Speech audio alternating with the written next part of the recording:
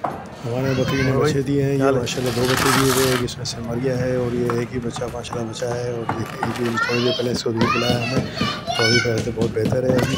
तकरीबन हाले परसों दिया था और दो थे जिसमें से एक मेल थी एक फीमेल थी और एक ये बचा है इसमें से एक एक मर गया ना काफ़ी आई थिंक वो सर्वाइव नहीं कर कर सका और फाइनली वो ऊपर गया तो ये भी काफ़ी वीकनेस हो रही है इसको भी तो देखते हैं अभी इंशाल्लाह। तो अभी कितना था?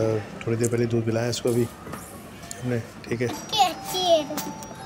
अब नीचे इसका हम घर भी बना रहे हैं यहाँ पे इसका इंशाल्लाह छोटा सा घर है। यहाँ पे पहले बकरी यहीं बांधे रहती बंधी हुआ करती थी तो अभी इसको हमने एक दोस्त को दे दिया दे दिया था तो इसकी थोड़ी केयर नहीं हो रही थी।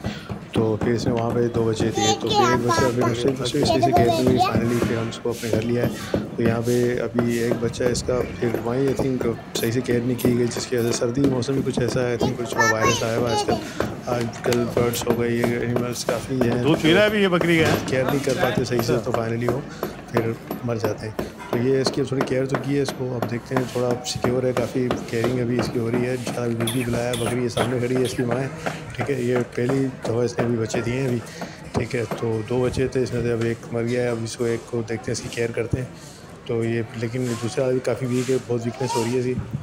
तो उसके लिए यहाँ पर घर बना रहे हैं। यहाँ पे इसका भी अभी जहाँ पहले बकरी रहा करती थी शुरू से ही तो वहीं इसको रखेंगे अभी। तो ये हम यहाँ पे इसको बाहर साइड पे ही हमने इसका घर बना रहे हैं। इधर ये मेजरा इसका तैयार हो रहा है। जो मेजरा भी ऐसा तैयार हो रहा है इसमें बर्ड्स बंद करने हमें पिजियंस तो खैर इसके अंदर हम ये रखेंगे बकरी बकरी के बच्चे को।